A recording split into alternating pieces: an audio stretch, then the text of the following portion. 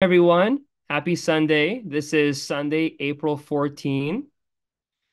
We want to thank everyone here for joining us for this next session of The Guardian. We're so happy to have all of you here today, and especially Ms. Violetta Zein.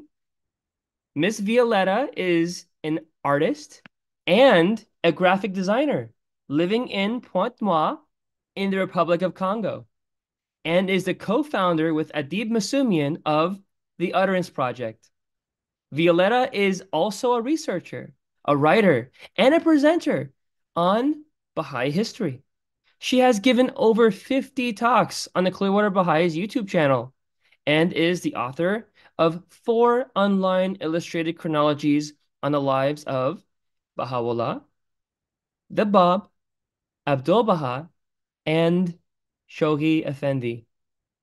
All links and details can be found in the description below this video.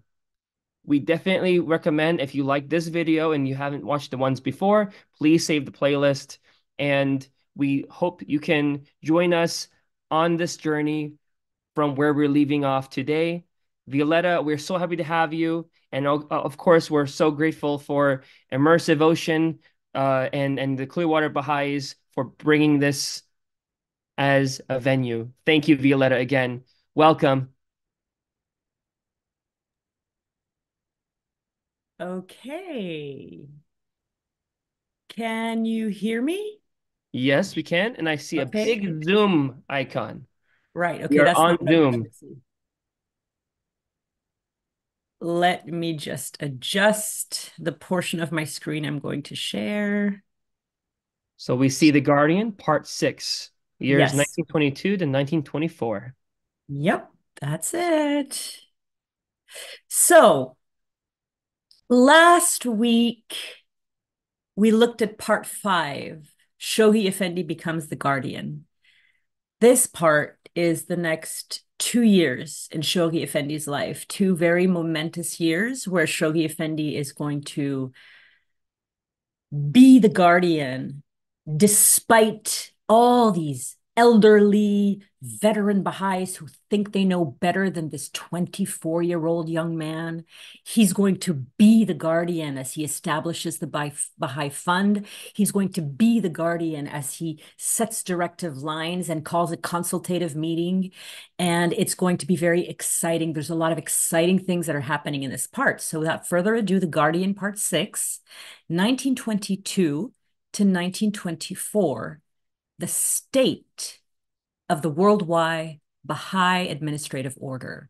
This part covers the life of Shoghi Effendi from the age of 25 in 1922 to the age of 27 in 1924. This is a photograph of Shoghi Effendi taken from the Priceless Pearl. This section is called simply the guardian. Shoghi Effendi is now the guardian. Guardian is not a strong word in English. The Arabic original term for guardian is Vali Amrullah, and it is a beautiful, it is a rich, it is a precise, evocative term, which means at the same time defender of the faith, leader, and commander in chief. Baha'u'llah's will and testament had placed on Shoghi Effendi's shoulders the same responsibility which the Kitabi Ahd, Baha'u'llah's will and testament, had placed on his own shoulders. The responsibility of the guardian, and I am going to repeat this twice, the responsibility of the guardian, his infallibility as the interpreter of Baha'u'llah's holy scripture cannot could not, would not ever be delegated to another person. Nothing the guardian did could be delegated because he was invested with infallibility in all matters regarding the faith. And this is why he worked for 36 years, sleeping four hours a night, working 20 hours a day, and suffered various levels of constant burnout throughout his entire ministry. It's extremely important to understand the pressure of a job, of a calling, of a position, of a station that cannot be delegated, even in its slightest details. After he became the guardian, Shoghi Effendi made two simple changes to his wardrobe. He stopped wearing a Turkish style fez, which is this type of hat, and he he began wearing a Persian style fez, a black one, and he adopted a knee length coat. The four aspects of Shoghi Effendi's life that hand of the cause Amatul Baha Ruhiya Hanum, who was married to the guardian for 20 years, synthesized for us in the Priceless Pearl are on the first, on the one hand, his translations and writings. Two, the uninterrupted stream of instructive communications that he sent out to the Baha'i world. 38,000 letters at the last count. The third aspect of Shoghi Effendi's life is expanding and consolidating the properties of the faith, both in the Holy Land and abroad. And the fourth, very interestingly, that Ruhiya Hanum isolates is an orderly classification of the teachings of the faith. Just as Abdul Baha before him had three self imposed aims to his ministry. Abdul Baha gave himself three tasks, three aims, three objectives. The first was the establishment of the faith in North America. The second was the erection of the house of worship in Ashgabat. And the third one was the uh, interment of the Bab's remains on Mount Carmel, where Baha'u'llah had indicated. Shoghi Effendi also had three aims for his ministry. And this is something he confided to Leroy Ioas. These are also self imposed aims to the Guardian's ministry. The first one was developing the Baha'i administrative order. From now until part 20, for the next 14 parts, you have to pay close attention to the incremental changes and developments that the Guardian is going to steer the entire Baha'i world in, in his development of the administrative order. We're going to cover one of the most important parts of that later on in this part. The second self imposed aim of Shoghi Effendi's ministry, as he saw his own guardianship, was prosecuting the tablets of the divine plan. We're going to put that on hold for the next 13 years. This is going to start in 1937 the year that Shoghi Effendi marries Ruhiya Khanum is also the year, coincidentally, that he is going to start prosecuting the tablets of the divine plan, the ones that Abdul Baha revealed and sent to North America. And his third self imposed aim for his ministry is establishing the Baha'i World Center. Before 17th January 1922, Shoghi Effendi's first laugh, I searched high and low for a photograph of Shoghi Effendi la laughing. This is the first time he laughs. Two months after Abdul Baha dies, this is the first time he laughs. So John and Louise Bosch, American Baha'is, had arrived on pilgrimage on the 13th of November, 1921, and they were there for everything. They were there for the illness of Abdul Baha, the passing, the funeral, the month waiting, Shoghi Effendi's arrival, the reading of the will and testament. And before leaving Haifa, Louise Bosch, she wanted to buy the regular Eastern clothes that women wore in in in uh, in the Holy Land. So she wanted to show her respect to the Holy Family by dressing like local women. So once she wore the uh, the Eastern clothes, she walked into the room where the women of the Holy Family were. And one of the guardian's aunts told Louise Bosch, You must go and see Shoghi Effendi. So that now that she was going to see Shoghi Effendi, all of a sudden Louise Bosch started to feel like she was playing dress up. You know, she felt a little bit silly. But she entered Shoghi Effendi's room and she stood about a meter away from his bed. Shoghi Effendi sat up in bed and he didn't quite realize at first who he was looking at.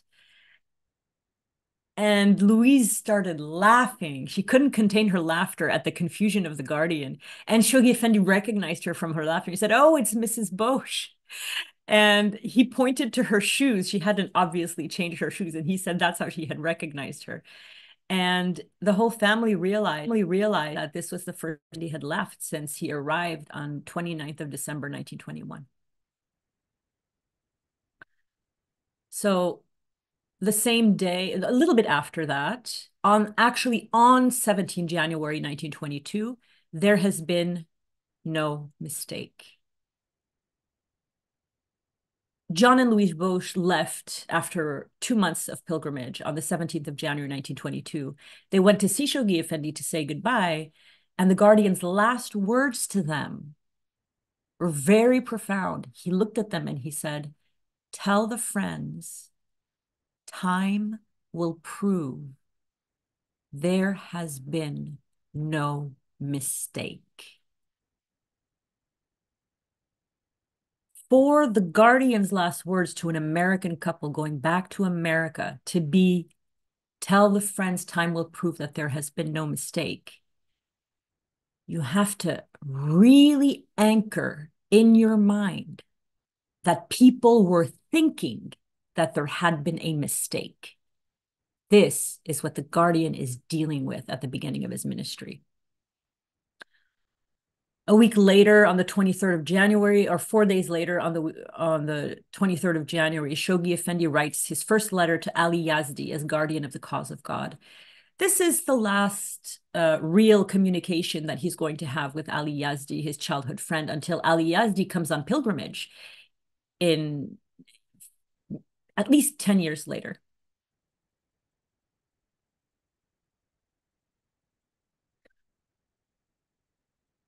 The Guardian replied to Ali Yazdi's, who had written him a letter, and called him my dearest brother.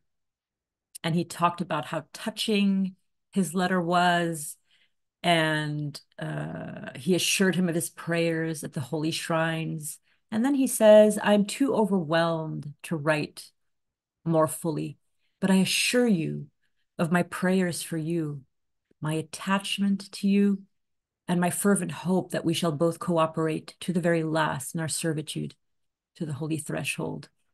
And the guardian had the thoughtfulness of enclosing in his letter to his childhood friend Ali Yazdi an envelope on which he wrote rose petals that have been laid upon his sacred threshold. They would not see each other until seven years from now, when Ali Yazdi came on pilgrimage with his wife Marion Carpenter. But I want to just give you one tiny little insight into the difference between Shoghi Effendi and the Guardian. Shoghi Effendi could have a best friend. He could have a best friend he wrote to every week. He could have a best friend that came to visit him in Oxford and hung around and talked about talks and exchanged intimate letters. This is, I think, in terms of Ali Yazdi's memoirs, this is the last letter he shares from the Guardian to him. The Guardian can't have best friends. So he's in this position where he can't delegate anything. And he can't have intimate relationships or friendships. He can't show preference. February 1922, bitter remorse. This is just a section I wanted to put in the chronology because I wanted you to understand how much the disobedience of Abdul Baha's family to send a cable to Shoghi Effendi weeks before his passing and send a letter instead that arrived after Abdul Baha died, the bitterness of the anguish that that caused Shoghi Effendi for the rest of his life. He wrote to a distant cousin and said, Ah, bitter remorse of having missed him, Abdul Baha, in his last days on earth. I shall take with me to the grave, no matter what I may do for him in the future, no matter to what extent my studies in England will repay his wondrous love for me. this sorrow is going to become an integral part of who the guardian is. And he's going to carry that to the grave. Nothing will ever ease that pain of having missed Abdul Baha. This section on the agony and grief of Shoghi Effendi, I invite you to discover on your own in the chronology. I have a lot to cover today, so I'm going to skip it. Early March, April 1922, a place for Abdul Baha's shrine. Now, I want to introduce you to one of these anchor books that I used and is from my, my mentor in Baha'i history, the person who got me interested in Baha'i history nearly six years ago, Earl Redman, whom I am privileged to call a very close friend. Earl Redman has written many, many, many books, many books. He's written a trilogy on Abdul Baha and this book, Shoghi Effendi Through the Pilgrim's Eye, is covers the first 30 years of the Guardian's ministry from 1922 to 1952. And it covers um, everything that happens in the Guardian's life, from writing the Dawnbreakers to the development of the administrative order. This work was very crucial in the writing of this chronology because no one so far, other than Earl Redman, has aligned as many dates as possible. And I am obsessed with dates because, of course, I write chronologies. So all of these pilgrims that are looking at Shoghi Effendi through the pilgrim's eye, they have dates for their pilgrimages. And Earl, if you ever watch this, thank you. I love you. Thank you for writing this amazing book. I, I loved it. I slept with it. It was my constant companion. So between 1922 and 1924, we're going to see uh, Shoghi Effendi very occupied with uh, the most great house of Baghdad. This is a story that is going to continue over the next several parts. This gorgeous photograph on the left here is actually, this is what the most great house looked like. It was filled with color. Everything you see in these black and white photos is not black and white, my friends. The walls are yellow, the, the engravings are turquoise, the columns are green. It's it's just a feast of colors, just like this, uh, the entrance. That's exactly what the color scheme looks like on the inside. It was like a jewel. It's really like a jewel. And um, that photograph was taken by a very good friend of mine, an Iraqi Baha'i called Saad Salim, and he gave me permission to use it in the chronology. So this is the most great house in Baghdad. And it was decreed by Baha'u'llah the Kitabi Aqdas to be one of the two sites of pilgrimage with the holy house of the Bab in Shiraz. Baha'u'llah lived in the most great house for seven years while he was in Baghdad. He revealed the seven valleys there. He revealed the Kitabi Iqan there. He revealed the four valleys there.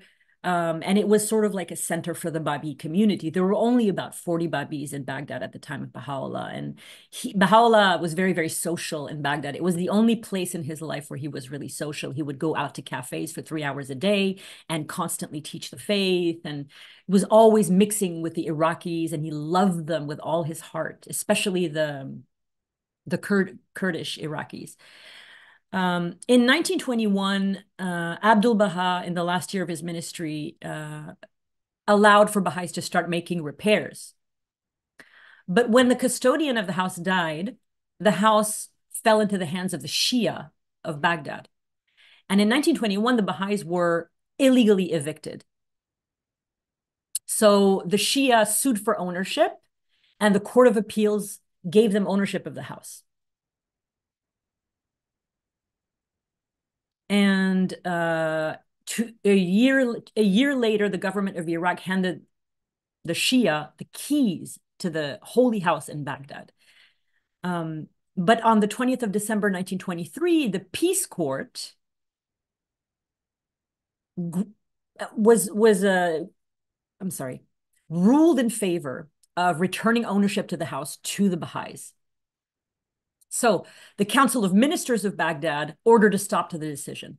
So this is very confusing the Baha'is have the house, the Shias take it, then they get the keys, then they get ownership. Then the peace court gives ownership to the Baha'is, but the Baha'is don't get the keys. And this situation is going to go on for years and it's going to be extremely frustrating for the Guardian. But this is the introduction to the house in Baghdad. Now, those of you who have a video, have you ever seen this picture of Shoghi Effendi before? Yes? Yeah. Do you know the story behind this photograph? There is a story behind this photograph. What is he holding? I'm going to tell you. So one day in early 1922, Shoghi Effendi walked back to the house of the master at 7 Haparsim after a visit to the shrine of the Bab, and he was followed by some Baha'is. When he arrived at the house of the master, Shoghi Effendi invited Boyce Norris, a young pilgrim in Haifa, with his family to stroll with him through the garden of the house of Abdul Baha. Boyce asked Shoghi Effendi if he could take his photograph, and Shoghi Effendi agreed. This is the photograph, the first real photograph of Shoghi Effendi as guardian of Baha'i faith. It's on uh, the website Baha'i Media Bank. The photograph shows Shoghi Effendi standing in the garden of Abdul Baha's home, holding a handkerchief. Inside the handkerchief, that white bit that you see here, inside are violets that Shoghi Effendi had picked, and he was going to bring it back for his beloved great aunt the greatest holy leaf. But he also picked a second bouquet of violets that he gave to Boyce Norse's mother, Elizabeth Norse, to bring back with her to America. These violets that he gave to Elizabeth Norse were the very first gift of the Guardian to America. They were preserved and they are currently in the United States National Baha'i Archives. So you see just a simple picture of our beloved Guardian and uh, we have such a story to go behind it. And this story uh, is is uh, from earl redman's amazing book. That's why i really uh, encourage you to read it because it's filled with treasures so on 5th of march 1922 the guardian writes a letter to the baha'i world addressed to the fellow workers in the cause of Baha'u'llah. This is another aspect of the Guardian. The Guardian was not a patriarch, and the Guardian considered himself a fellow worker in the vineyard of Baha'u'llah. That is why he signed all his letters, your true brother, because he was brother in arms with everyone who was working in the field. And he was with them in spirit every moment of his life, even though he could not participate in community activities because he was the head of the faith.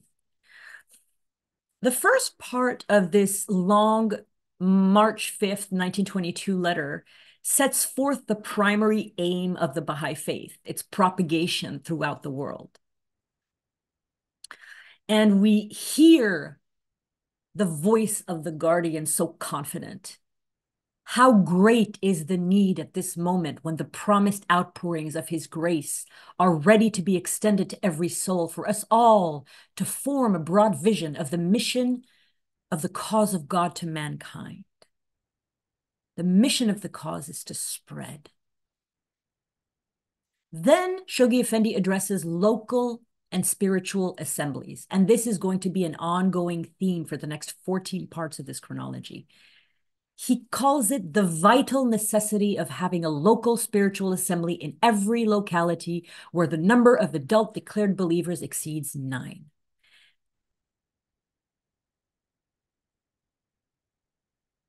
In March 1922, really interesting event happens a very interesting event happens for us now because we are now building, all of us contributing and building a shrine for Abdul Baha that is located on the arc between Haifa and Akka.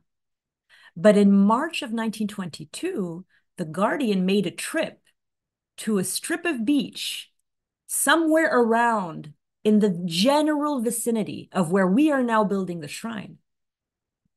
And I chose this picture because this picture is Abdul Baha sitting in his carriage on his way back from Bahji along the beach, because the story is, uh, takes place shortly uh, away from the beach. A hundred years ago, Shoghi Effendi could already see the place where Abdul Baha's shrine would finally be. Accompanied by Mason Remey, who would later break the covenant after Ab, uh, Shoghi Effendi's passing, but was a faithful believer at the time. He was a very well known American architect. He decided to uh, invite this uh, capable man and capable architect with him. He had come to participate in consultations, which we're going to cover in the next story, I think.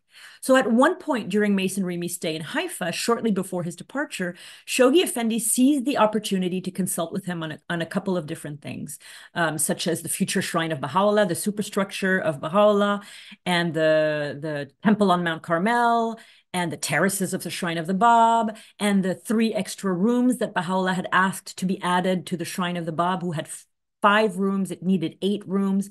So you see, one year into his guardianship, not, not just a few months,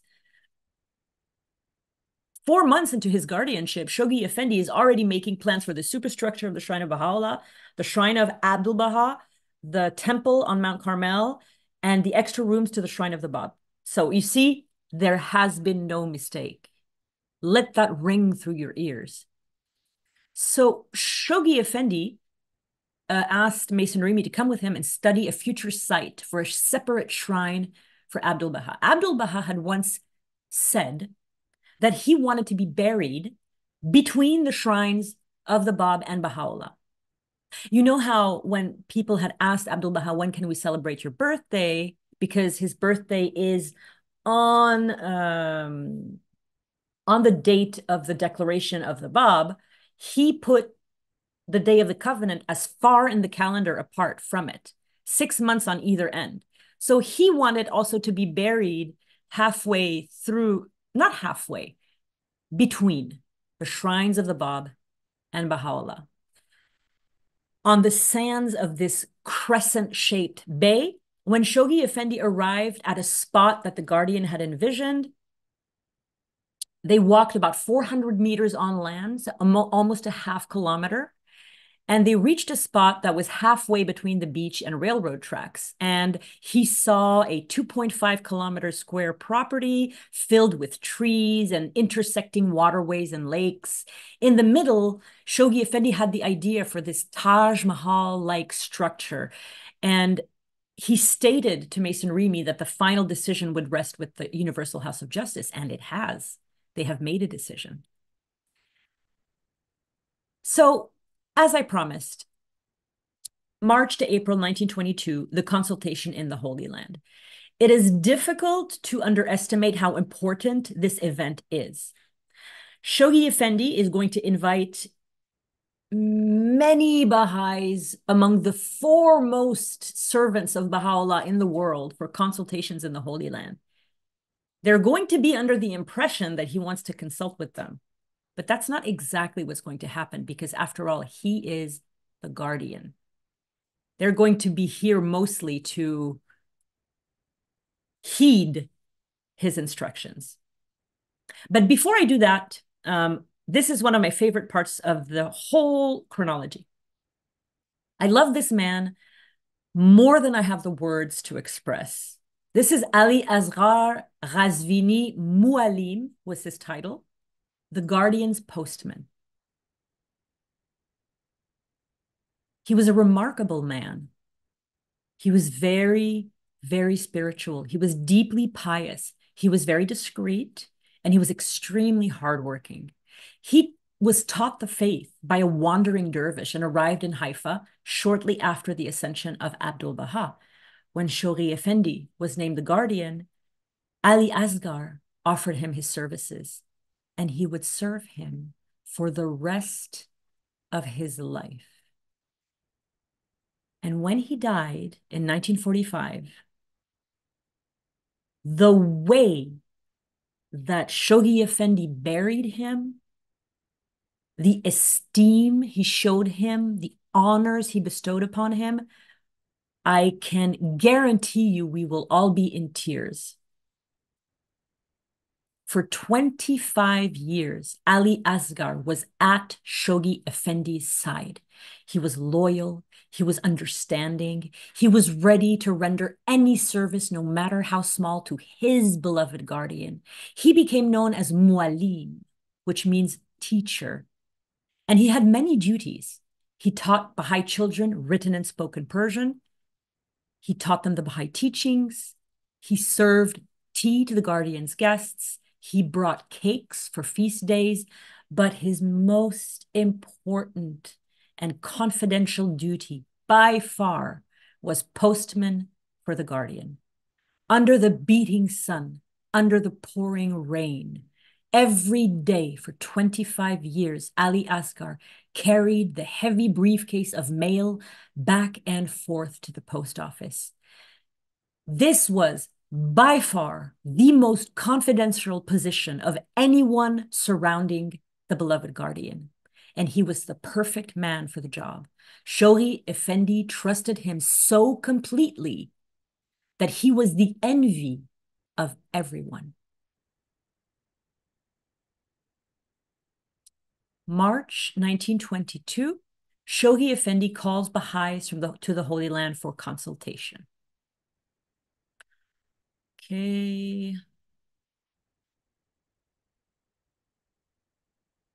According to Ruhiya Hanum, there was very little doubt in her mind that on reading Abdul Baha's will and testament, Shoghi Effendi's very first thought was the election of the Universal House of Justice as soon as possible. In one of his earliest communications to the Baha'is in Persia in this, on the 16th of January, the Guardian refers to the Universal House of Justice, saying that he would later announce the preliminary steps for its election.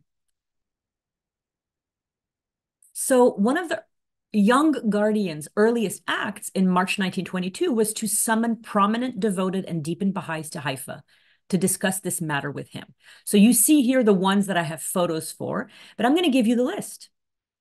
From England, The Guardian called Lady Blomfield, Ethel Rosenberg, and Major Tudor Pole.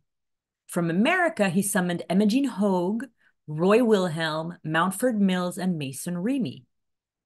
The Guardian called Laura and Hippolyte Dreyfus Barney from France, Consul and Alice Schwarz from Germany, and he also summoned two well-known Persian Baha'is, Avari and Fazel, but they were not able to attend.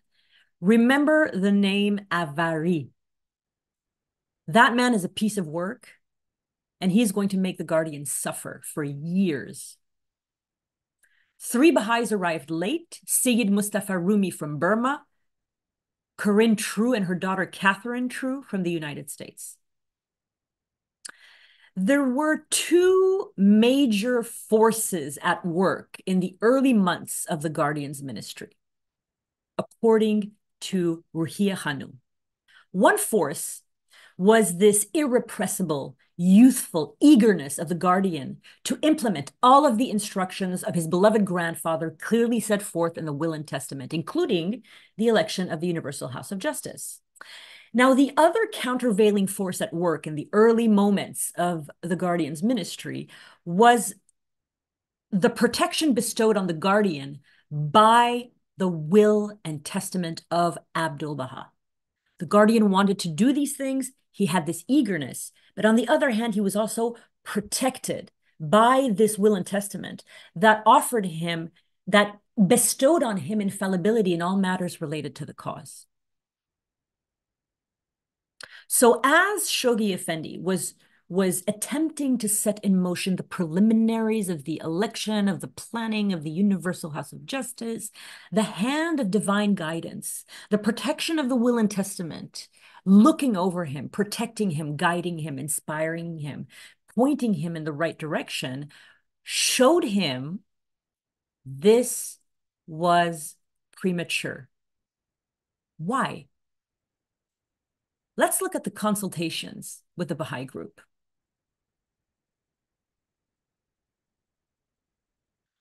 during the consultations with these 11 eminent, stalwart, devoted, dedicated, enkindled Baha'is from around the world, it became apparent to the Guardian very, very clearly that no matter how much he wanted personally himself in his own youthful eagerness to elect the Universal House of Justice, it was an extremely dangerous step to take in 1922. Why? The necessary, firm foundation of Baha'u'llah's administrative order did not exist. Shoghi Effendi did not have a sufficient reservoir of qualified, deepened, well informed, firm Baha'is to draw on. In his infallibility and his familiarity with Abdul Baha's leadership and the Baha'i holy text, Shoghi Effendi alone realized well, the Universal House of Justice is like the roof and you really can't build a roof unless you have walls. And the walls and the foundation were local assemblies and national assemblies. And so the Guardian pivoted and realized that the task that was the most urgent was to raise up the administrative order.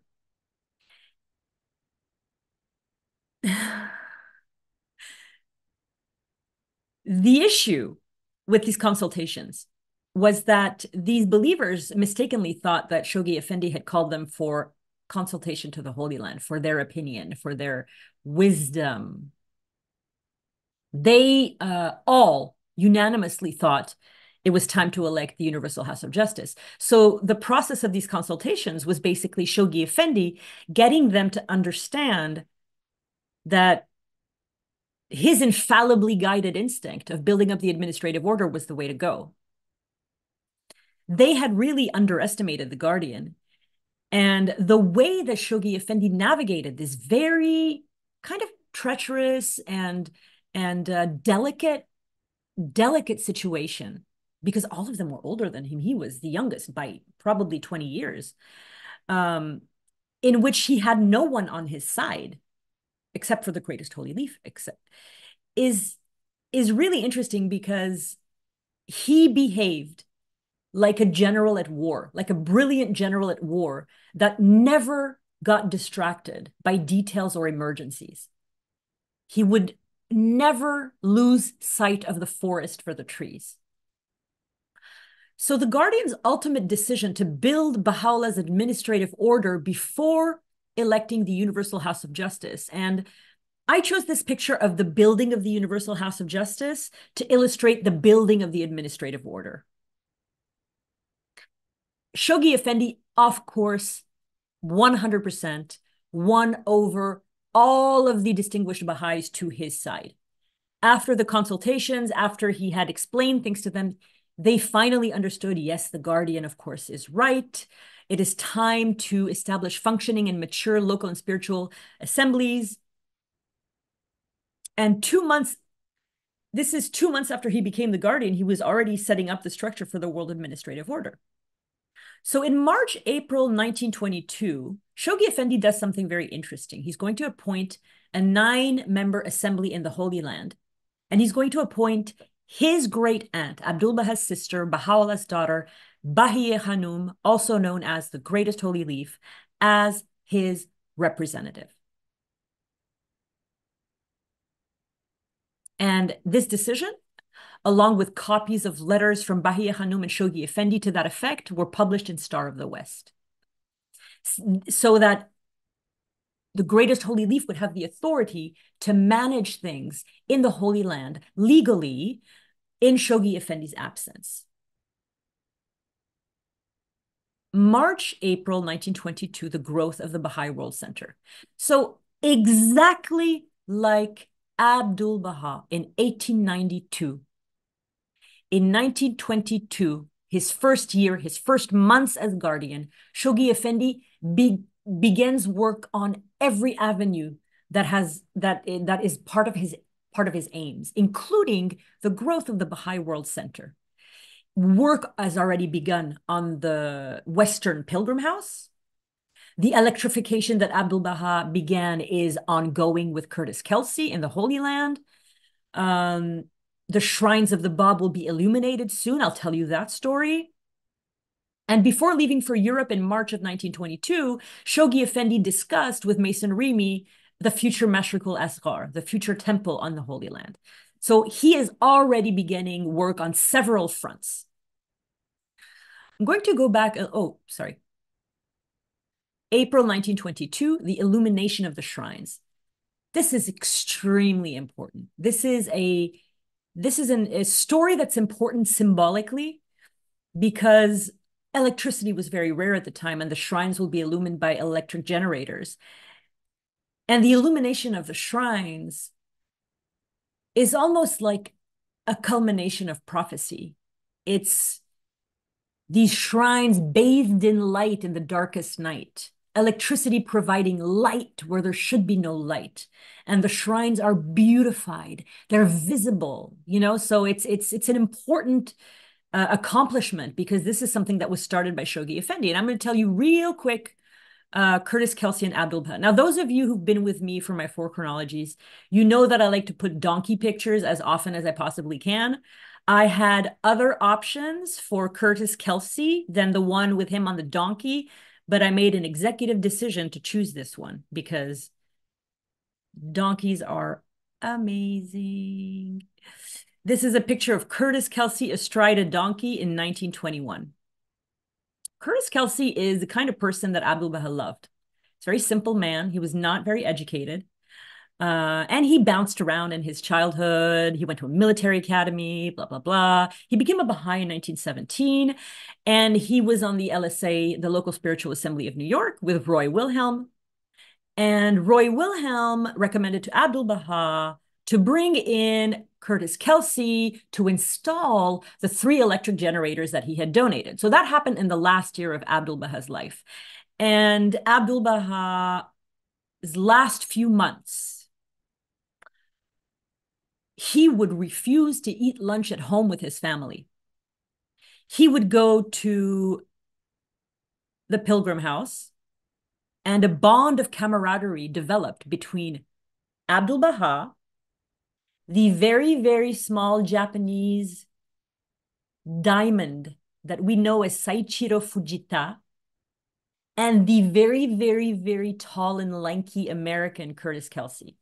The trio would have lunch every single day from three completely different cultures, and they treasured their time together. Fujita had a little brown cat, and right before Abdul Baha arrived, Fujita would lock the cat in the kitchen and then Abdul Baha would come in with his sweeping robes and he would say, Let the cat out.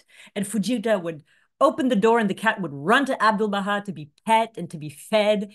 And they all three enjoyed this routine equally. And Fujita and Curtis Kelsey were just amazed that Abdul Baha had as much fun as them.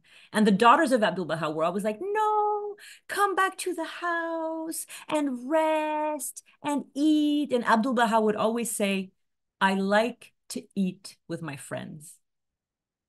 So Curtis Kelsey was in the Holy Land when Abdul Baha passed away, and he stayed in the Holy Land. And shortly after the 5th of April, 1922, Shoghi Effendi thanked Curtis Kelsey. Now, this is Curtis Kelsey here. He's very tall. He is at the shrine of Baha'u'llah during his first pilgrimage. This is a photograph that I was given by the United States National Baha'i Archive and I thank them from the bottom of my heart. It's it's such a beautiful quality picture. Um, a few days before the 5th of April, 1922, which is the date when Shoghi Effendi leaves for Switzerland for the first time ever. 5th of April, 1922. So a few days before that, Shoghi Effendi saw Curtis Kelsey and asked him to join him on a walk. Um, Curtis Kelsey had read the Will and Testament backwards and forwards, and he knew everything about the station of the Guardian. He knew that he was protected by Abdul Baha himself. He knew that um, this was not going to be a run of the mill walk because he was going to be walking with the Guardian. So as Shoghi Effendi and Curtis Kelsey made, their way up Mount Carmel, children were playing around and they were joyfully dancing and dancing in and out of the shadows of the street. And these were the early days of electricity. And and it was an exciting new development for for residents of Haifa these street lamps. And so the kids were playing with the shadows.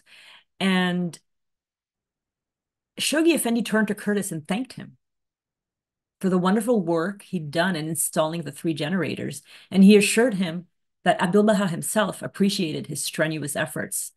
Uh, Curtis was very very uncomfortable and so he he does what most of us do including me. He batted away the compliment and said well shoghi effendi i was very happy doing the work for the master and i want no credit. Listen to this. The guardian stopped walking. He looked into curtis's eyes and firmly reiterated nevertheless appreciation goes with your service.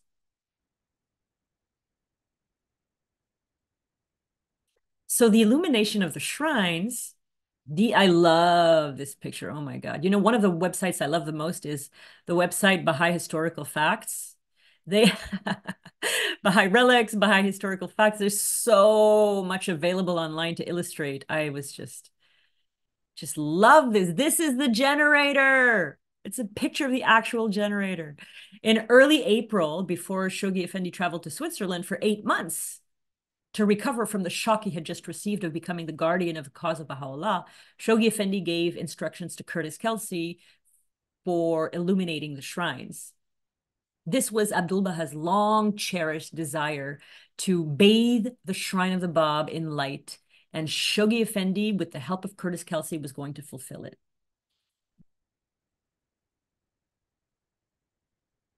Now, as I said before, there is a depth of significance to the illumination of the shrines that cannot be ignored.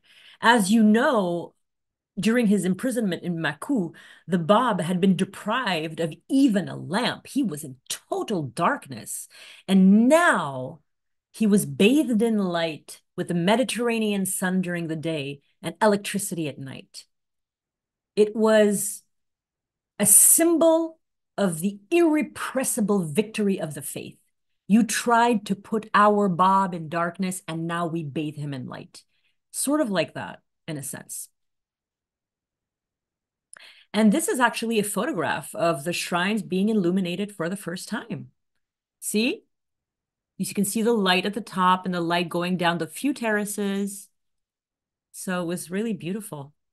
So on the first day of Rizwan, 21st of April, 1922, two weeks after the Guardian had left for Switzerland, the Shrine of the Bab and the Shrine of Baha'u'llah were illuminated for the first time. At Bahji, the Shrine of Baha'u'llah's illumination was, was flooded with light, was so bright that it was visible from the Shrine of the Bab. But guess what? The illumination of the shrine of the Bab in Haifa was so bright that it temporarily confused a ship captain steering in his ship that night. And there was an incident. And so, because of that incident, the port authorities added the lights on the shrine of the Bab to the official navigation chart. This uh, is really one of the most important stories also in this chronology because late April 1922, Curtis Kelsey experiences the greatest holy leaf's um, commanding presence. Commanding presence. And I like this photo, photo because she looks commanding in this photograph. And we have a we have a very bad um, sort of uh, image of the greatest holy leaf. We think of her as saintly, quiet, with her arms folded, gentle, you know, but she was a commanding presence. And this is a little story to show you, even at 76 years old, how powerful this woman was because she was in charge of the faith for over eight years. If you count all the absences of Abdul Baha and Shoghi Effendi and you count them together, she was left at the helm for eight years. And this is not something a meek and weak person can do. No, she was a general. She may have been gentle, But that does not mean that she was not very commanding and powerful in her own right. So when uh, Curtis Kelsey was about to leave, uh, he was brought to, uh, to, to the Greatest Holy Leaf, and um, he was broke. He had he had no money. He he he could get as far as Istanbul. That's that's all he had. So when he was brought to the Greatest Holy Leaf, she asked him. She she wanted to she wanted to she praised him for his stellar work, and he and she insisted that he take money to return to the United States because of course the Greatest Holy Leaf knew the man is broke.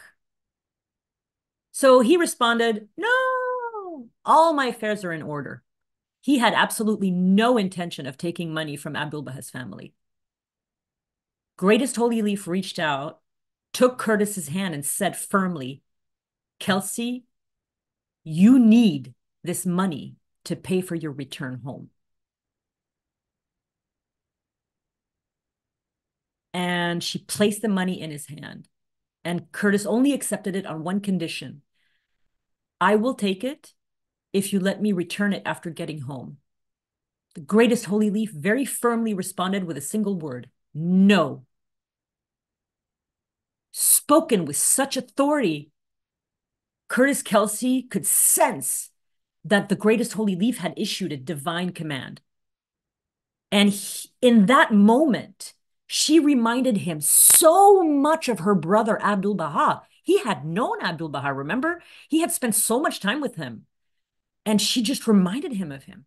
And Shoghi Effendi would always say the greatest holy leaf to him was the feminine incarnation of Abdul Baha. So we have to adjust how we think of the daughter of Baha'u'llah. We have to adjust our sights.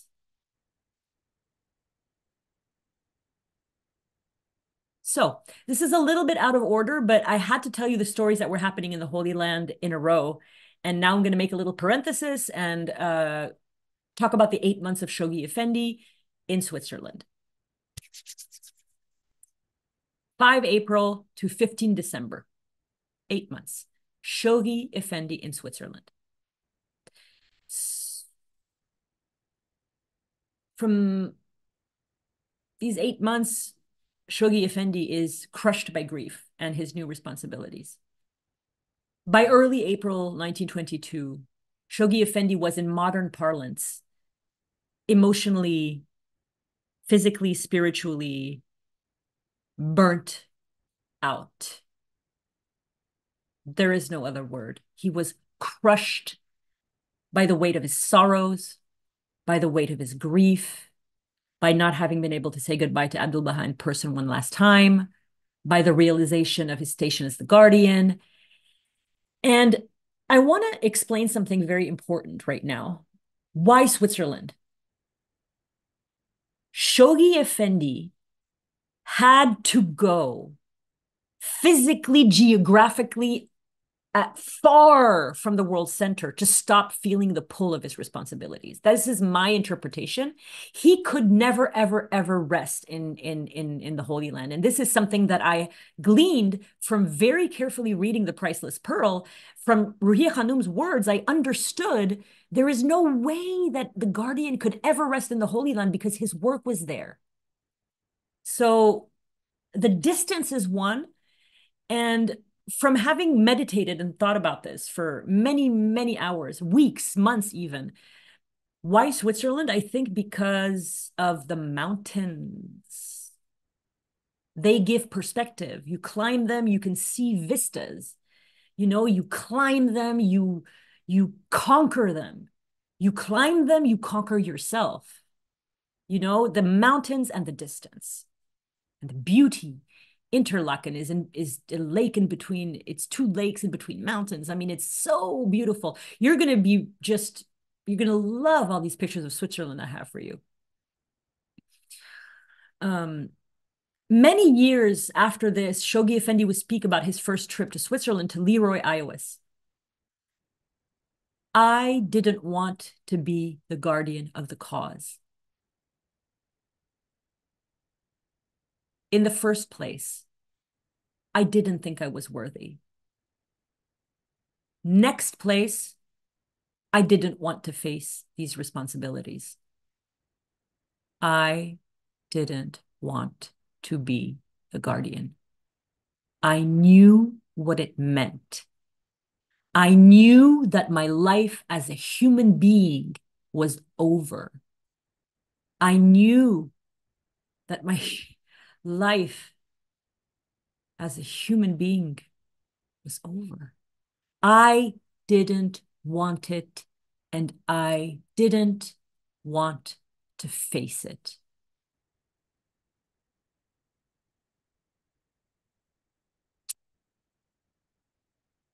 Shoghi Effendi wrote a letter to the Baha'i world regarding his absence, where he basically says that he has to leave because he can no longer work. I will leave you the pleasure of discovering this on the website. This is a photograph of Shoghi Effendi in Switzerland, looking over a low wall down to a glacier. So what first happened when Shoghi Effendi left the World Center was he traveled to Germany to consult doctors, and the doctors found something deeply alarming. Shoghi Effendi had no reflexes left. After Germany, Shoghi Effendi spent time in Switzerland and the Bernese Oberland, which became his second home. Shoghi Effendi loved the alluring mountains, loved his host, a, a Swiss German named Mr. Hauser, an old Swiss mountain guide. In the town of Interlaken, he would remain close to Mr. Hauser for years, spending many summers in his cabin. Shoghi Effendi, exactly like Abdul Baha, Baha'u'llah, and the Bab, loved good, humble, simple people. And he had a very close relationship with Mr. Hauser and wrote to him regularly. They exchanged postcards, they exchanged photographs. It was a it was a real friendship. But remember, Mr. Hauser was not a Baha'i. So for years, Shoghi Effendi rented Mr. Hauser's tiny, tiny, tiny attic, and he paid one franc per night. The ceiling was so low that any guests coming to visit him had to hunch over, and Shoghi Effendi only had a small bed and a pitcher of cold water so that he could bathe. From Interlaken, uh, Shoghi Effendi would hike the Bernese Oberland for 16 hours on end, sometimes hiking 40 kilometers a day. And he found healing in these exertions in the wilderness and the fresh mountain air. Shoghi Effendi commemorated the anniversary of the one year of the passing of Abdul Baha alone in Switzerland. Years later, when speaking to Leroy Ioas, Shoghi Effendi told him his reason for leaving the Holy Land. The position entrusted to him by Abdul Baha in his will was so overwhelming to him at the time. He felt like he did not want to be the guardian and did not want to face his responsibility. And he told Leroy,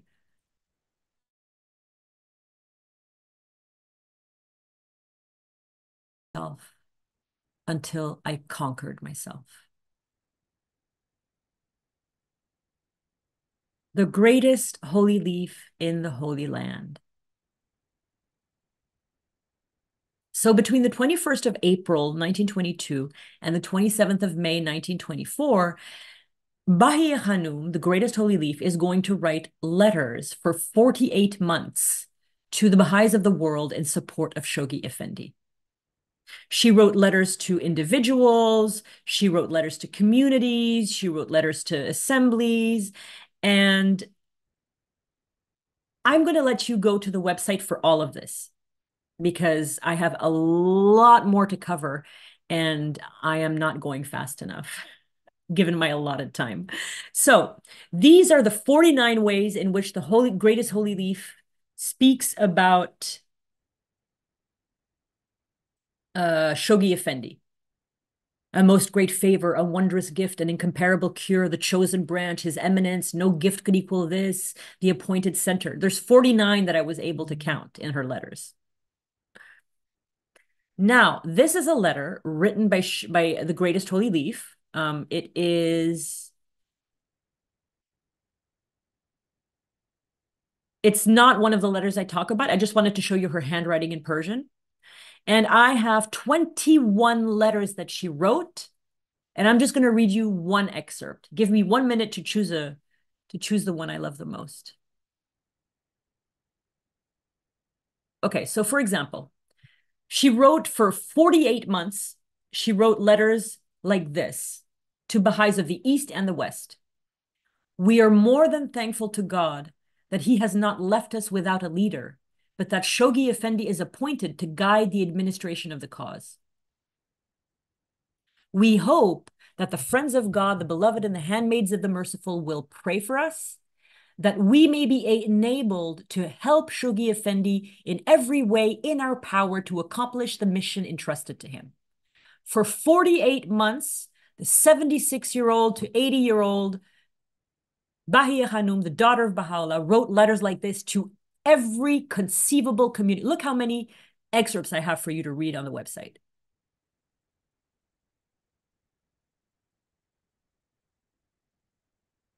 See that?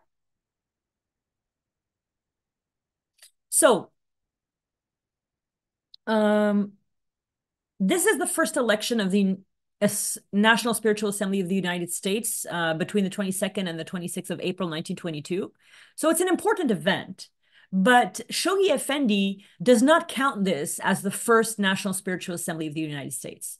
The first National Spiritual Assembly of the United States, according to Shoghi Effendi, properly and duly elected is 1925 because for an assembly to be counted as really a proper Baha'i National Spiritual Assembly, the uh, the election had to be a, had to follow a certain process, and the way it was elected in 1922, although it was the first time, was not really done um, according to proper uh, prerogatives. So I want to just talk very quickly about the state of the Worldwide Baha'i Administrative Order in 1922, the first few months where Shoghi Effendi becomes the guardian.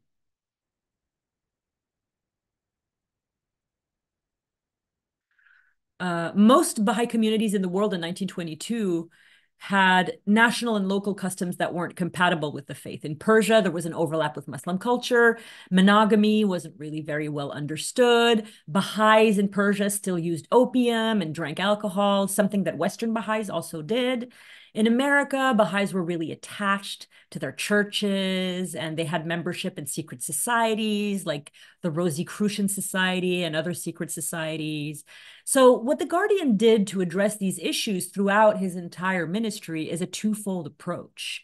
First, Shoghi Effendi created a universal, consistent, and coherent method of carrying on Baha'i community life and organizing its affairs, based firmly in the teachings of Baha'u'llah and the master's elaborations. The second thing that Shoghi Effendi did throughout his ministry to unify Baha'i life and create Baha'i communities as we know them now was to patiently educate the Baha'is with 38,000 letters and to help them understand the objectives and the implications of religion, the truths enshrined in them. And this is where we're going to start to see all the famous letters of Shoghi Effendi, the Uh, world Order of Baha'u'llah, the Golden Age of the Cause of Baha'u'llah, the Advent of Divine Justice, the Promised Day is come. All of those things are coming up.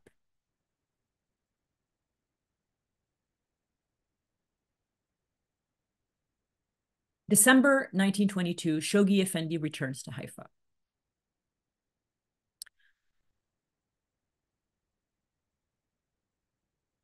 The greatest holy leaf, after eight months of absence, needed Shoghi Effendi back in Haifa because the faith needed its guardian. So one night, probably sometime in early to mid December 1922, Shoghi Effendi was coming back from one of his all day hikes.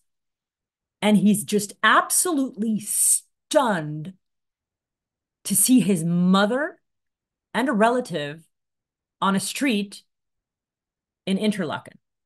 Stunned. They had been sent by the greatest holy leaf. It was time to go home. Shoghi Effendi returns to Haifa on the 15th of December, 1922. And he says, I have now returned to the Holy Land with renewed vigor and refreshed spirit. Refreshed and reassured, I resumed my arduous duties. It was such a needed retirement. I have feelings of joyful confidence. Our guardian is back. See, there's a lot more. So, again, please visit the chronology, people. I am abbreviating here. Um,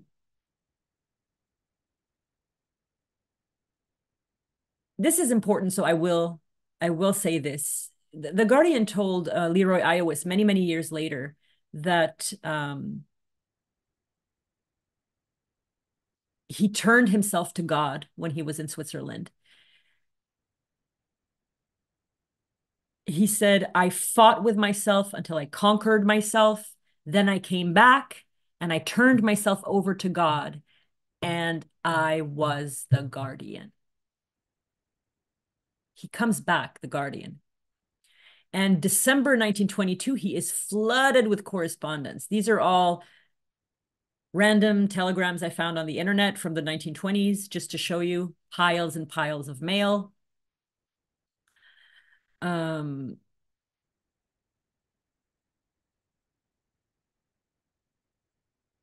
Shoghi Effendi was answering personal letters, individual letters.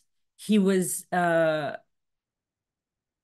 he was saying important things in these letters and the national spiritual assemblies began grumbling a little bit because they said oh my gosh the individuals in their country are receiving very important guidance from the guardian and we don't know you know? So this is the beginning of the of the of the of the correspondence how Shoghi Effendi has to deal with the correspondence. So he has to deal with individual questions where there's going to be very important guidance that's going to be conveyed. He's also going to write to national spiritual assemblies. He's going to write to committees. But this sort of the piles of mail after he returns from uh, Interlaken in Switzerland. This is going to be a major feature in his life for the next 36 years. Another major feature of his life for the next 36 years is Shoghi Effendi's regular meeting with pilgrims. It was customary for Shoghi Effendi to, uh, from the beginning of his guardianship, meet with pilgrims. This is Shoghi Effendi here. This is uh, Fujita. Um, there's also some Western Baha'is here. Uh, and he would visit the shrines of the Bab with the Eastern pilgrims and the shrine of Abdul Baha. And they would all refresh themselves with a cup of tea at the Eastern pilgrim's house, right next to the shrine of the Bab. This is a habit the guardian is going to keep for um, the rest of his life. And now a bit of good news. You remember on the 30th of January, 1922, the covenant breakers had seized the keys of the shrine of Baha'u'llah. And so for a year, nobody was able to set foot in the shrine. On the 8th of February, the keys of the shrine of Baha'u'llah are returned to Shoghi Effendi. This is really a great victory. Um, and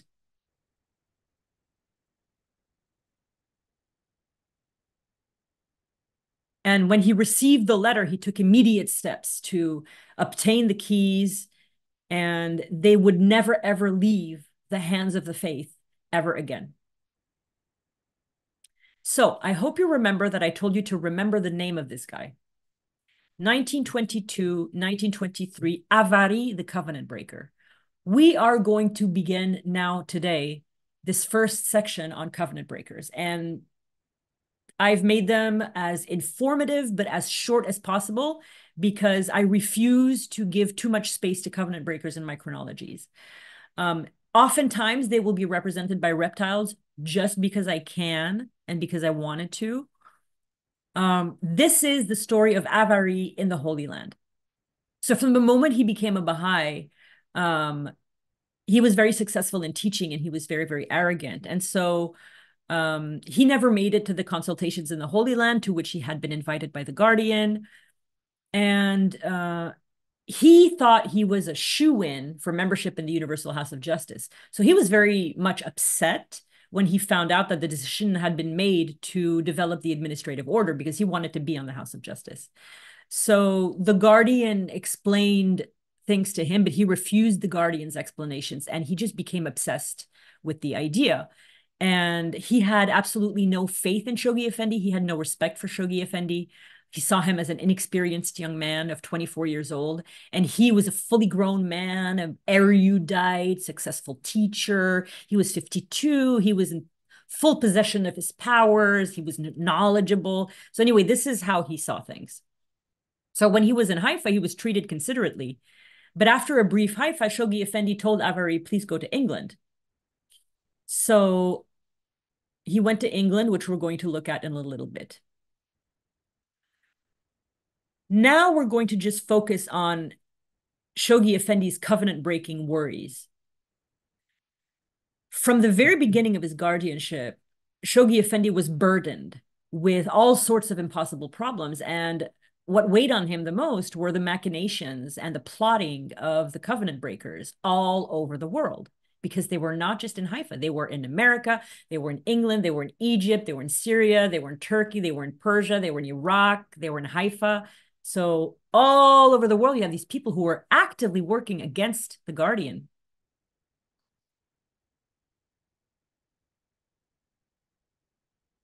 Um, he Shoghi Effendi wrote clear warnings to people who would soon become covenant breakers. And of course, those warnings, because of their inflated ego and their soul devouring jealousy, were never heeded that is the very definition of a covenant breaker. They don't listen when you talk to them, and they're devoured by jealousy. Um, Hussein Afnan was the grandson of Baha'u'llah. And he had three brothers who were also grandsons of Baha'u'llah and who all married the three granddaughters of Abdul Baha. Two of these were Shoghi Effendi's own sisters, and every last one of them would become covenant breakers.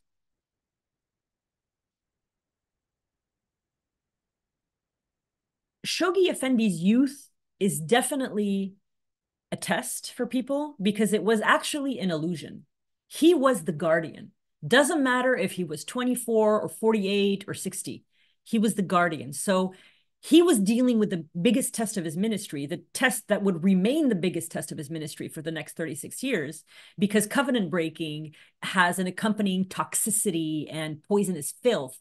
And he dealt with it like a steely eyed, clear sighted, intransigent general. Never had any hesitations.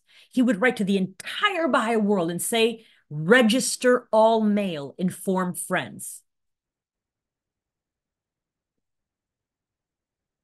So Avari was sent to England. This is Avari the snake in England. So he arrived there in January 1923, and the Guardian had asked him to help the believers deepen their knowledge in the faith. Um, Guardian made sure that they would treat Avari well. I mean, the guy is an egomaniac. He's like self-centered. He's like he has an ego the size of an immense ego. So just placate him, treat him nice, treat him with respect. But the English believers went overboard. They treated him with so much reverence and they were so hospitable to him and they praised him so excessively. They wrote gushing letters about him to Star of the West. And so he began speaking three, four times a week. Uh, he gave series of lectures on Tahirih. And so his success in London just bolstered his egotism. And, and so he became, began writing manipulative insens- insincere letters couched in beautiful language. He was a very talented writer. So the unfortunate thing with Avari is that he's extremely talented and extremely deepened, which makes him supremely dangerous as a covenant breaker. Um, and in 1923, he wrote a letter as an individual Baha'i to the National Convention of the United States and Canada. I mean, imagine the ego for a person to write to a convention. And he just began thinking that he could lead the faith much better than Shoghi Effendi. He was the better choice. He was a better leader. And so he started undermining the position of Shoghi Effendi. And after a short stay in London, he traveled to Egypt. And it's really in Egypt that he's going to begin his covenant breaking activities. Like London was kind of just a warm up for him. He's just getting started. Um, so he arrived in the spring of 1923 to Egypt And he published a book, a two volume history that he wrote uh, 10 years before. Uh, and he was hoping to earn a ton of money with this book. And of course, that never happens. I mean, who makes money from selling books? You know, I mean, even back then, that wasn't even possible. So Avari stayed in Cairo for several months and pitted the local spiritual assembly of Cairo against the community. He started dividing the community.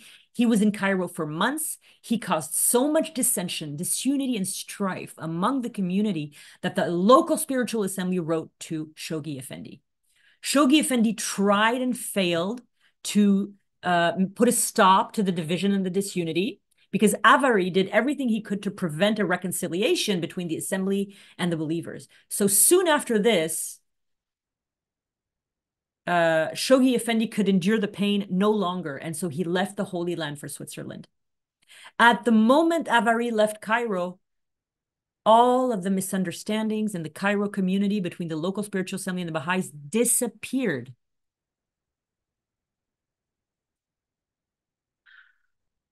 March, April 1923, the Baha'i Fund raising assemblies and Abdul Baha's nine terraces. So, on the 12th of March, the Guardian establishes the Baha'i Fund. So, we have a date for when the Baha'i Fund came into existence. And Shoghi Effendi uh, gave three spiritual principles on the Baha'i Fund. The first spiritual principle of Baha'i contributions is that they are a privilege for Baha'is only. They are a Baha'i privilege. We do not take money from people who do not believe in Baha'u'llah and who are not members of the Baha'i community. The second spiritual principle is that they must absolutely be voluntary. No one can be coerced. We cannot beg people to give. It has to come from the heart. And there are two more spiritual principles one of them is a very beautiful principle. It's this principle of sacrifice. It's a very, all three principles are really internal and it's your own personal relationship with the fund. But there is a fourth principle that Shoghi Effendi, um, Shoghi Effendi uh, mentions. And it's that individuals are free to earmark contributions earmarking meaning I want my money to go for uh, the International Baha'i Fund, or I want my money to go for the building of the uh, uh, shrine of Abdul Baha in the Holy Land. So you're allowed you're allowed to earmark. Then in 1923, uh, the Guardian begins promoting unity in assemblies. Um, I'll give you an example the Guardian was infinitely patient. Um, so the Guardian would like train the assemblies to be more united. And one uh, one assembly uh, just it was a, it was a, it was a very infant institution. It was a new assembly. It was a new local assemblies, and they voted off one of the members of the assembly. They didn't like the guy, so they just voted him off the assembly. So Shoghi Effendi cabled them immediately and said, this action could have worldwide repercussions and inflict irreparable injury to the cause of Baha'u'llah. So you have a very concrete way in which Shoghi Effendi nursed these local institutions from their infancy. 1923 to 1929, the nine terraces of Abdul Baha. So the nine terraces of Abdul Baha would go from the bottom here, one, two, three, four, five, six, seven, eight, and nine. Um, that was the vision of Abdul Baha. And because his grandfather's vision was so precise, Shoghi Effendi began working immediately in uh, in integrating them as part of an integral part of the shrine. Uh, beginning in 1923, there was only one partial terrace uh, around the shrine, Shoghi Effendi had a single-minded goal to build these nine terraces. By 1925, the greatest holy leaf uh, gave a part of her inheritance to Shoghi Effendi, and Shoghi Effendi began carving out terraces on the shrine of the Bab. And this would continue on for uh, six years. And so we'll be revisiting the terraces of Abdul Baha later on. Um, these green sections, these blue sections are always about holy places. And the green sections are always about teaching and pioneering. And 1923, Shoghi Effendi's joy at and Clara Dunn's effort in, in Australia. And of course, and Clara Dunn are the mother and father of the Australian Baha'i community. They traveled a lot to New Zealand as well. And this is Father Dunn and Mother Dunn, uh, Hyde Dunn and Clara Dunn. Nothing made, see, comparatively to nothing made the Guardian more unhappy than covenant breaking the the the the counterbalance to that is that nothing made the guardian happier than bahai's success in the teaching and pioneering field um, so he would write to faraway Australia, hearing about their success, and he would tell Hyde and Clara Dunn, what an encouragement and what an inspiration to be revived every now and then with a fresh breeze wafting from faraway Australia and laden with a perfume of your love and devotion to his sacred cause. Uh, just nothing made the Guardian happier.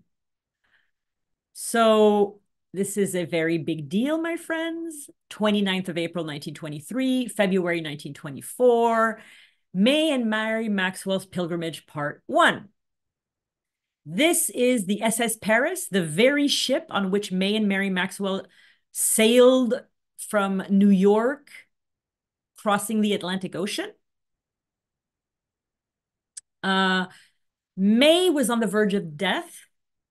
She had been May Bowles first, and she had been one of the very first Western pilgrims to visit Abdul Baha in 1898. And she was very attached to Abdul Baha, and Abdul Baha's death nearly killed her. And so her husband, probably the best husband in the history of the world, thought the only thing that's going to revive her is to go to the Holy Land and spend time with Shoghi Effendi. So he sent his wife, who was like very weak from the shock of Abdul Baha's death, to Shoghi Effendi with his 12 year old daughter. And this is the story of Mary Maxwell meets Shoghi Effendi for the first time. On purpose, I chose a photograph of her on a horse because I like horses too. horses and donkeys. This is the rule of this chronology. Um, she was fully grown by the age of 12. So she was the same height as she would be when she would later marry the guardian. She is actually in front of the Western Baha'i Pilgrim House in 1923 during her pilgrimage. So this is a very funny story. Mary Maxwell, Shoghi Effendi's future wife, was 12 years old in 1923, and it was her first pilgrimage. And the first time she ever met Shoghi Effendi was very, very embarrassing for her. May Maxwell, her mother, as you know, was very poorly from the shock of Abdul Baha's death, and she was resting in her room, recovering from the trip as well. Her nights were mostly sleepless, and she had suffered insomnia on the whole trip long. And so Mary had learned from a young age to protect her mother, who was very um, had very poor health. And at any cost, she would protect her from any intrusion. So Mary, 12 year old Mary, was in the hallway of the pilgrim house when the door suddenly opened and a young man, a young Persian man, stepped in with a deft, elegant movement. And he asked if he could see Mrs. Maxwell. Mary was only 12, but she was already fully grown. So she pulled herself up to her full height, looked at the young Persian man squarely in the eyes, and said with considerable dignity and a lot of self assurance Mrs. Maxwell is resting. Who is it wants to see her? The young man replied, I am Shoghi Effendi. Mary gasped she turned around, she ran straight into her mother's room. She jumped in the bed, she stuck her head under pillows like a puppy, and she woke her mother up. And her mother asked, What on earth is going on? She was like, Hey, hey, hey he's here, he's here, he's here, he's here. So finally, her mother managed to understand that Shoghi Effendi was there. So she ordered Mary, Now, Mary, pull yourself together. Go tell him I am coming. That's the first time Mary Maxwell and Shoghi Effendi ever met. Mary Maxwell's car ride. Mary Maxwell was an irrepressible spirit. So Shoghi Effendi and Mary and May Maxwell and other pilgrims were in this Cunningham car, seven seater car. And Mary Maxwell was sitting on the edge of the folded back top here. She was sitting on the edge of the folded back top. And she was just enjoying the wind in her hair. And Shoghi Effendi was protesting her recklessness and warned her not to fall out. And Ruhiya Hanum, as an adult, would recall her state of mind, and she would say, I was too intoxicated with the morning and all the bounties showered upon me to be afraid. And as the car was driving on the beach, there were hundreds of little crabs that fled before the car. And, and Shoghi Effendi began to tell Mary Maxwell how much he longed to see the Rocky Mountains in Canada and his love of mountains and mountaineering. And he always followed Shoghi Effendi until the end of his life always followed with the greatest interest any attempt made to conquer Mount Everest. And Sutherland Maxwell, William Sutherland Maxwell, made the right decision in sending um, his wife to Shoghi Effendi because Shoghi Effendi's care for May Maxwell was above and beyond. Uh, it was incredibly kind. Uh, Shoghi Effendi was the only one who could help her. And she arrived on pilgrimage in a state of depression, ill health, insomnia, and emotional turmoil. Day after day, the guardian helped her as she struggled with her insurmountable guilt. He helped her, comforted her, he lifted her spirits, he filled her heart with hope. Um, he knew she was spiritually ill, not just physically ill. So he told May Maxwell that her depression was the result of a serious illness and that when she was physically weak, she was more prone to spiritual weakness as well. Shoghi Effendi acted during her pilgrimage kind of like her spiritual physician. Uh, but even the guardian knew that only the faith would really make uh, May Maxwell recover, and he counseled her to throw herself into service.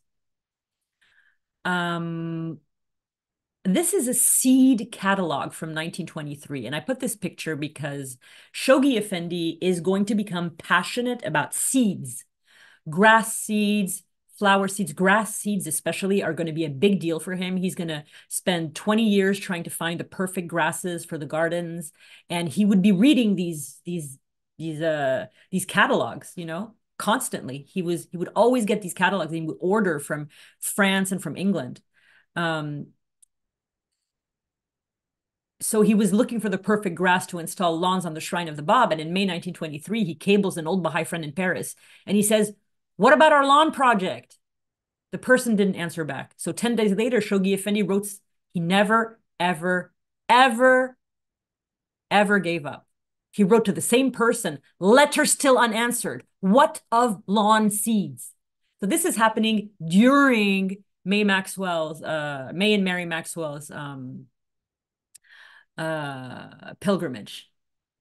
Uh, this is a story that's a very short story, but um, it's just to show you how much hers was Shoghi Effendi for the Greatest Holy Leaf, how much he belonged to her. There was a meeting, and the Greatest Holy Leaf was another room. And one of the Persian Baha'is was so overcome with emotion that he threw himself at Shoghi Effendi, and there was a commotion.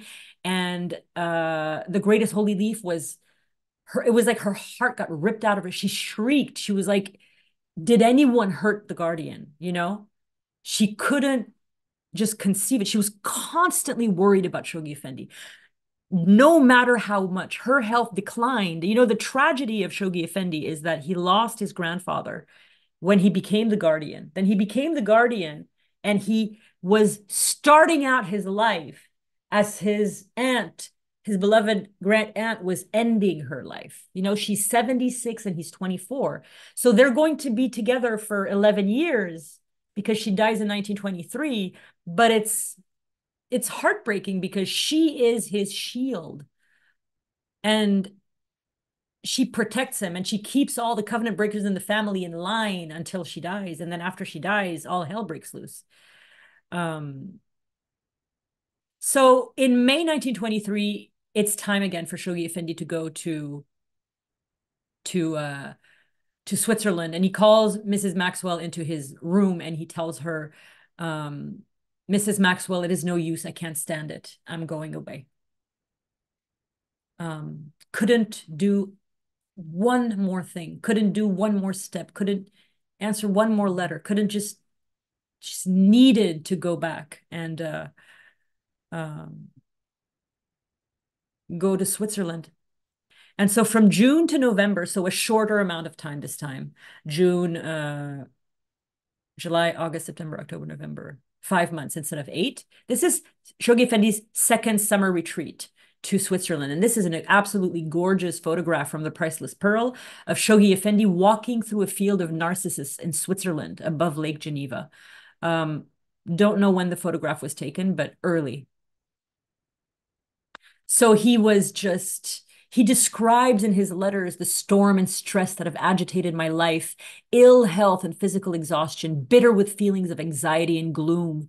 So he retires to Mr. Hauser's cabin again and he rebuilds his strength again and he goes on his 16 hour 40 kilometer hikes again and he makes a complete break with the work and he receives no communications from the, the Holy Land. And these months are deeply meaningful, not just for the beauty of the scenery, but because he loves Mr. Hauser so much. And this, my friends, is this beloved Swiss mountain guide that Shoghi Effendi loved so much that he put his arm around him with a genuine smile on his face, Mr.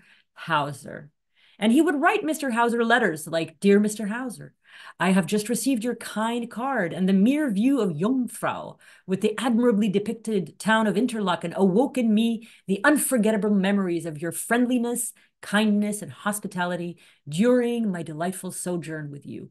These are moments of Shoghi Effendi coming back to life, bathing in this exceedingly beautiful nature in one of the most beautiful spots on earth, with a man who is unfailingly kind and a life that is incredibly simple, and these long, arduous hikes where he conquers himself over and over and over again. So when he returns from oh, January to February 1924, May and Mary's Maxwell's Pilgrimage, Part 2. So autumn 1923, I am a little bit obsessed with Shoghi Effendi's lawns. I will fully confess. Um, these are all pictures of lawns in the Holy Land that I got, and I just collaged together. The French lawn seeds didn't work. So Shoghi Effendi, when he returns to Haifa, he just embarks on a new lawn campaign, lawn and lawn seed campaign. Um, there's just very few grasses that would actually grow in the climate of Palestine. So, but Shoghi Effendi wanted something and he would not back down. So he wrote to a cousin in Egypt, asked him to send him seeds from Egypt. Um, and he was so delightful, Shoghi Effendi, that when he was, he, he, grew close to a lot of the people that he wrote to, all these horticultural dealers that were selling him seeds. He grew close to a lot of them. And uh, he assured a French collaborator of his most affectionate sentiments. Um, and eventually, he would find the right lawn seeds and he would grow beautiful lawns in the Holy Land.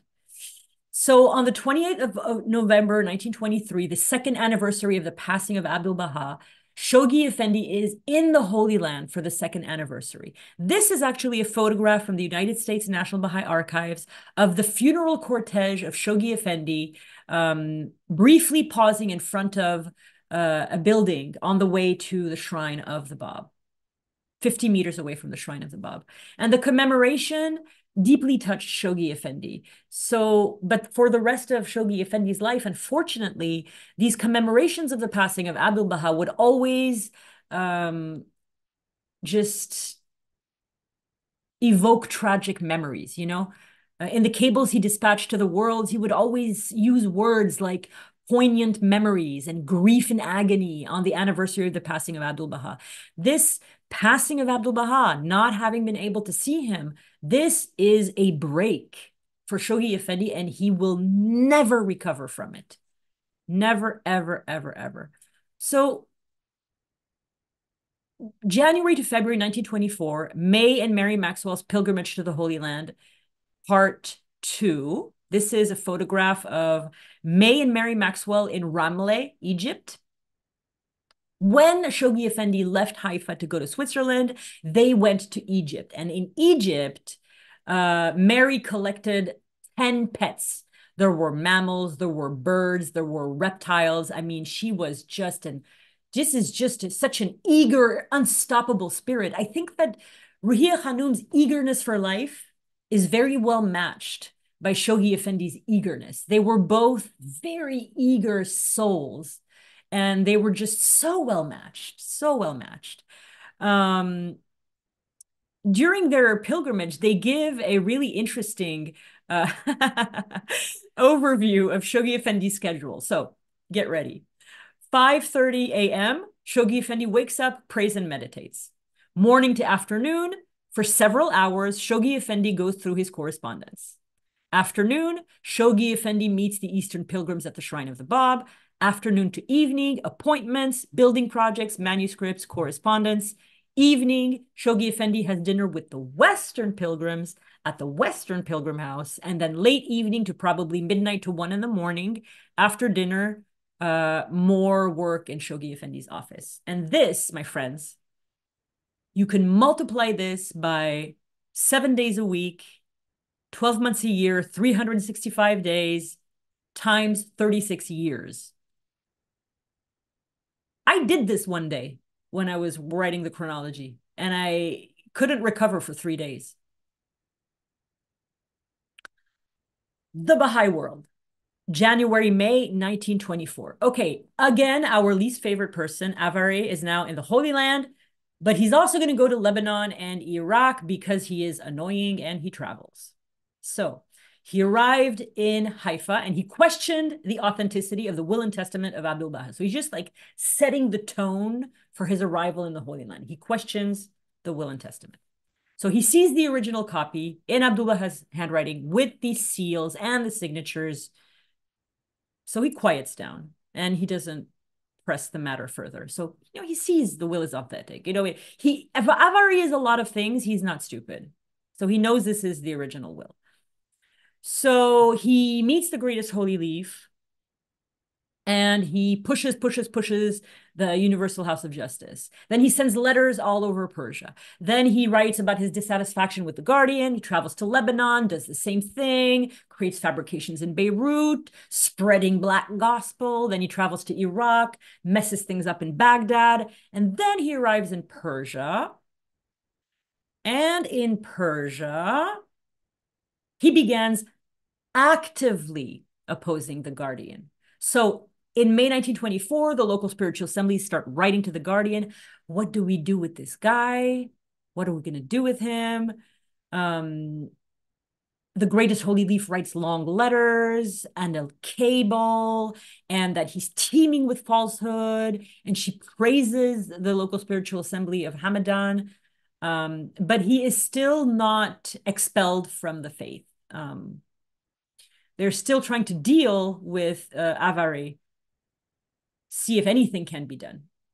Horace Holley is the one, this is Horace Holley, he is the one who had the idea for the Baha'i world. And this is going to be a very, very important thing in Shoghi Effendi's life. Shoghi Effendi adored the Baha'i world. And this is all of the Baha'i world editions and the colors the Guardian personally chose for their covers for the entire 36 year ministry of the Guardian ending in 1954. He chose that color. The that was the last color he chose. Um, he oversaw the whole publication. He chose the pictures. He mailed the manuscript. Uh, it was it, it was a love story. It was really a love story.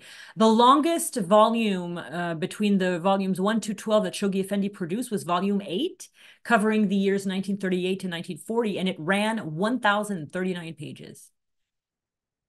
Now, by by mid March 1924, um, Shoghi Effendi, this is a forget me not one. I think one of my favorite flowers, if not my favorite flower, but Keith Ransom Kehler, before she died, she wrote a little poem, uh, and she said that sacrifice is a seed that grows. And if her seed grew, she hoped it would be a modest forget me not. And if someone could pick one from the grave of uh, Quddus and bring it to Shoghi Effendi. And so that's why, in her honor, that I chose this forget me not for this story about the guardian talking about his heart. When the guardian was about to leave uh, Haifa again, he said to the greatest holy leaf and other members of the family and explained why he had to leave. He said, My heart is sensitive. I just as I feel the ill feeling that exists between individuals and I'm injured by it, so too do I treasure the excellent qualities of the believers. Indeed, I hold these dearer than words can tell. After that most dread ordeal, the one and only solace of my heart was the loyalty, the staunchness, the love of the friends of the Blessed Beauty for Abdul Baha. We are almost finished for today. Um, there's just a couple of stories left. One is Shoghi Effendi in Switzerland. This is his third visit to Switzerland in 1924. This is Shoghi Effendi straddling an ice ridge on one of his climbs in the Swiss Alps. Um, and again, a long letter to Mr. Hauser, which I will let you discover on your own. Um, this is another photograph of Shoghi Effendi by a very steep glacier crevasse. He's very adventurous and he is unafraid. I mean, I would never step that close to a glacier crevasse ever. It, look at Shoghi Effendi. He's just unafraid. Um, Shoghi Effendi only had one real hobby. If you want to guess, it was photography. Uh, he took a lot of extraordinary pictures in his first years. Uh, and he wrote to a French photographer living in Switzerland, and he told him, I am impatiently waiting for the photographs which I sent you. I hope you received them. They are very, very dear to me. Please instantly reassure me by postcard on this subject. I hope they all came out well. Thinking of you in advance, I am yours devotedly, Shoghi Effendi. Um, this is just a picture of Tenzing Norgay and Edmund Hillary, who succeeded uh, successfully completed the first ascent of Mount Everest at 11:30 a.m. on the 29th of May 1953. So the Guardian followed the ascent of Mount Everest very closely for his whole life, and he was able to uh 19 I yeah, was he able Sorry, I just lost my train of thought there for a moment. Um, the Guardian once described himself to Leroy Ioas as a mountaineer he was really passionate about mountaineering and he even uh, climbed mountains with hooks and and cables, like real mountaineering with with those uh, those shoes with the the cleats, you know, that you can stick in the ice. I mean, he did really um, real mountaineering. Uh, he was very athletic, you know, and you remember he was really good at tennis too when he was in, in, in college.